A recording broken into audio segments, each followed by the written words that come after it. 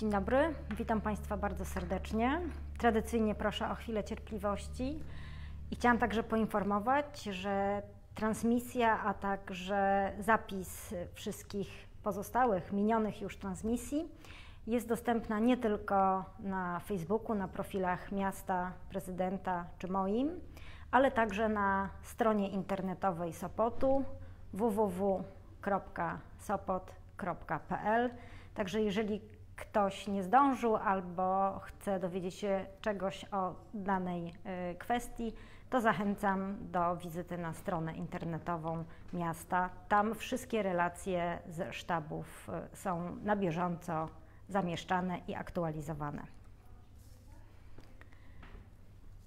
Szanowni Państwo, dzisiaj y, ostatni dzień w szkole dla maturzystów.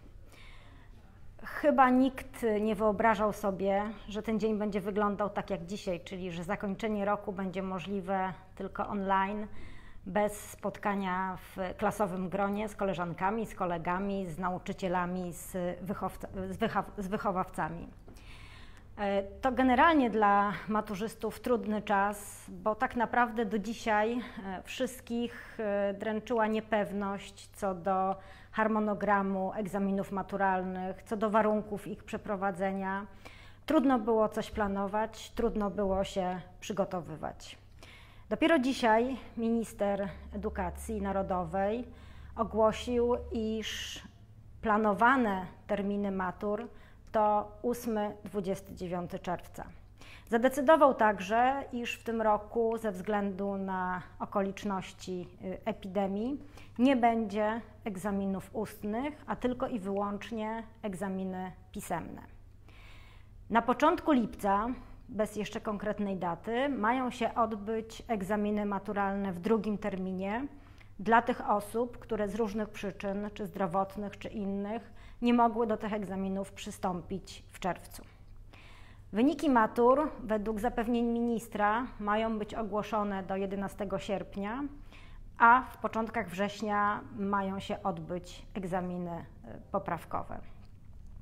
To wszystko, proszę Państwa, oczywiście są plany, bo y, o tym, kiedy, jak odbędą się egzaminy, decyzje będą podejmowane w zależności od rozwoju epidemii i od sytuacji stwarzającej zagrożenie lub jeżeli będzie e, sytuacja bezpieczna, to będzie można te egzaminy przeprowadzić.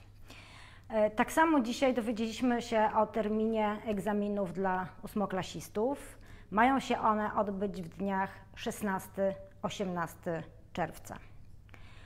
Co istotne, dzisiaj także otrzymaliśmy informację, iż do 24 maja wszyscy pozostajemy w trybie nauczania na odległość, w trybie nauczania online.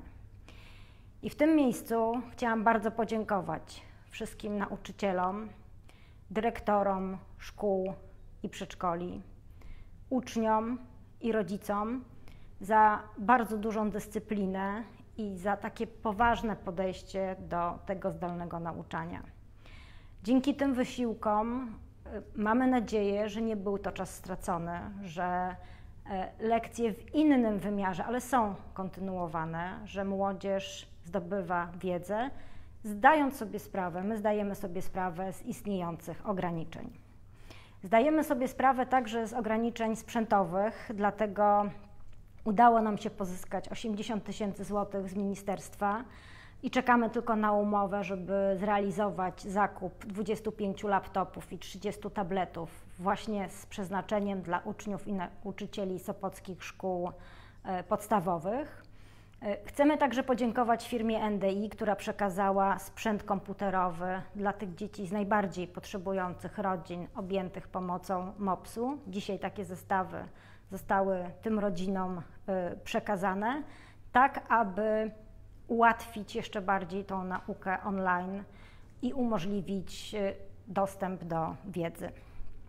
Proszę Państwa, Sopocki MOPS oferuje bardzo duże wsparcie i liczba osób objętych ich opieką stale rośnie. W ciągu miesiąca przybyło 100 rodzin, którym Miejski Ośrodek Pomocy Społecznej w Sopocie zapewnia wsparcie żywnościowe, czy to w formie gotowych posiłków, czy paczek żywnościowych, czy środków pieniężnych na zakup produktów. W chwili obecnej takim wsparciem objętych jest ponad 550 rodzin na terenie naszego miasta. Kilkadziesiąt rodzin zgłosiło się także e, po zasiłki, rodzin, które do tej pory z pomocy MOPS-u nie korzystały. Przypominam o tym, że staramy się odpowiedzieć na wszystkie Państwa potrzeby. Uruchomiliśmy ekspresowe wypłacanie zasiłków, analizujemy każdą sytuację i zachęcamy do kontaktu z Sopockim MOPS-em. Numer telefonu 58 551 17 10. Dziękuję także wszystkim pracownikom Sopockiego MOPS-u, którzy pracują z podopiecznymi, którzy o nich dbają, którzy monitorują sytuację dzieci, rodzin, osób starszych czy z niepełnosprawnościami. I w trosce o nich od poniedziałku e, przeprowadzimy testy na obecność koronawirusa, testy z puli zakupionych testów przez miasto od firmy Invicta. 10 pracowników MOPS, szczególnie narażonych na kontakt z dużą liczbą osób, będzie tym testom poddanych. Czekamy cały czas na przeprowadzenie testów, e, jeżeli chodzi o pensjonariuszy naszego Domu Pomocy Społecznej. E, miały się one rozpocząć dzisiaj, są to testy z puli Sanepidu. Natomiast e, no, były inne priorytety i najpierw Sanepid wykonuje testy w tych miejscach, gdzie doszło do zakażenia. W związku z tym e, testy odbędą się na pewno w najbliższych dniach. O ich wynikach na pewno Państwa poinformujemy. Szanowni Państwo, otrzymujemy bardzo wiele pytań dotyczących Sopockiego rynku. Analizowaliśmy sprawę bardzo dogłębnie i przygotowaliśmy procedurę bezpiecznego, jak uważamy, funkcjonowania Sopockiego targowiska pod wieloma jednak restrykcjami i rygorami. E, przymierzamy się do tego, aby we wtorek już Sopocki rynek mógł działać. O szczegółach i zasadach funkcjonowania poinformujemy Państwa w poniedziałek.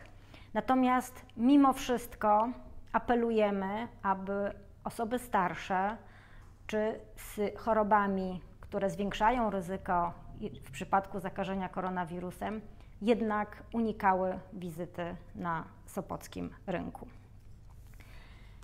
Chciałam także w odpowiedzi na liczne wnioski mieszkańców e, powiedzieć, iż Zakład Oczyszczania Miasta wznowił wydawanie worków na odpady zielone. Od poniedziałku takie worki będzie można zamówić, wypełniając elektronicznie oczywiście formularz znajdujący się na stronie zom.sopot.pl. Można także wysłać zgłoszenie mailem na adres adres małpa. W takim zgłoszeniu czy w mailu należy podać adres oraz liczbę worków e, i ZOM na pewno się z Państwem skontaktuje. Odradzamy kontakt telefoniczny, ponieważ infolinia jest dosyć przeciążona i mniej jest pracowników, którzy ją y, obsługują. Przypominamy także, że worki z odpadami zielonymi należy wypełniać oczywiście zgodnie z zasadami segregacji i wystawiać zgodnie z harmonogramem dla danego rejonu miasta. Unikajmy sytuacji, kiedy worki z odpadami stoją dłużej niż jeden dzień na sopockich ulicach.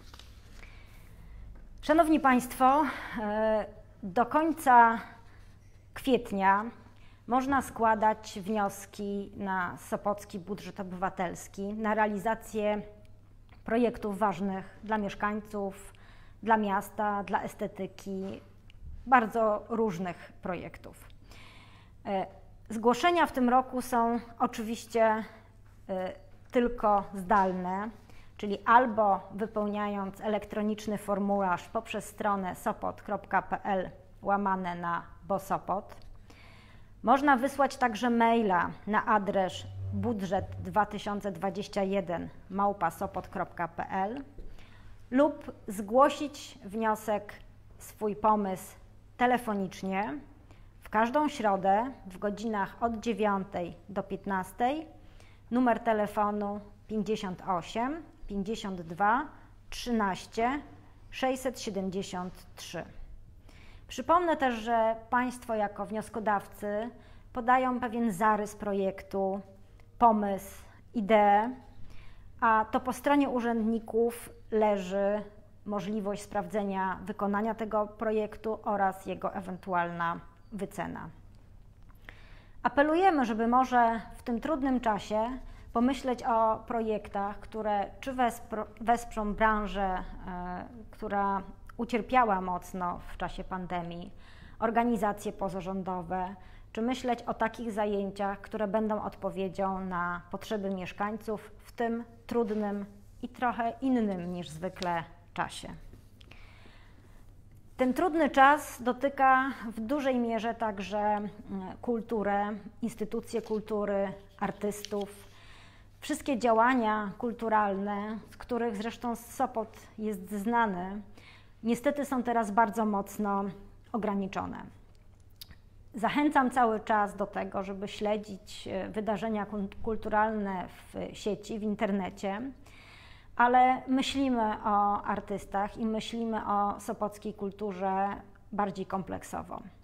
Dzisiaj podjęliśmy decyzję o tym, aby zwolnić z czynszów za maj e, sopockie pracownie artystyczne.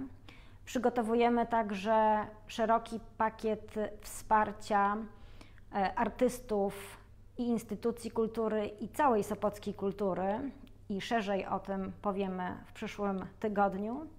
I chciałam także zadeklarować, że nie przewidujemy cięć budżetowych w sopockiej kulturze, zdając sobie sprawę, że wiele zaplanowanych wydarzeń nie może się odbyć w takiej formule, w jakiej tradycyjnie się odbywają. Ale jesteśmy teraz na etapie wspólnie z wszystkimi instytucjami kultury wypracowywania nowego programu Sopockiej kultury, która będzie dostępna, może trochę inaczej, tych trudnych czasach, zarówno dla mieszkańców, jak i w przyszłości dla naszych gości. A mówiąc o kulturze, pozwolą Państwo, że zaproszę do Teatru na plaży. Dzisiaj o godzinie 19 na profilu facebookowym Teatru na plaży będzie filmowa kronika teatru i tym razem zobaczymy materiały dotyczące najnowszego spektaklu Ginczanka Przepis na prostotę życia. Natomiast w niedzielę najbliższą o godzinie 11 będzie premiera pierwszego odcinka serialu teatralnego dla dzieci Plastusiowo, serialu wykonanego tradycyjną techniką teatralną, w nawiązaniu oczywiście do szkolnych przygód Tosi i Plastusia Marii Kownackiej. Proszę Państwa, przed nami weekend, czas, kiedy tradycyjnie e, większość z nas stara się spędzić poza domem. Ale apelujemy i informujemy, że Straż Miejska, policja będzie kontrolować takie tradycyjne miejsca odpoczynku. Będziemy zwracali uwagę innymi na to, czy przed lokalami gastronomicznymi, które wydają posiłki, które wydają napoje na wynos, jest porządek, jest zachowanie odległości i nie ma zbyt dużej koncentracji ludzi. Przypominamy także, że cały czas, zgodnie z rozporządzeniem Rady Ministrów, obowiązuje zakaz funkcjonowania wszystkich obiektów świadczących usługi hotelarskie i dotyczy to zarówno obiektów kategoryzowanych, ale także innych obiektów, jak wille, mieszkania na wynajem, pokoje, apartamenty, ośrodki wczasowe czy pola kempingowe.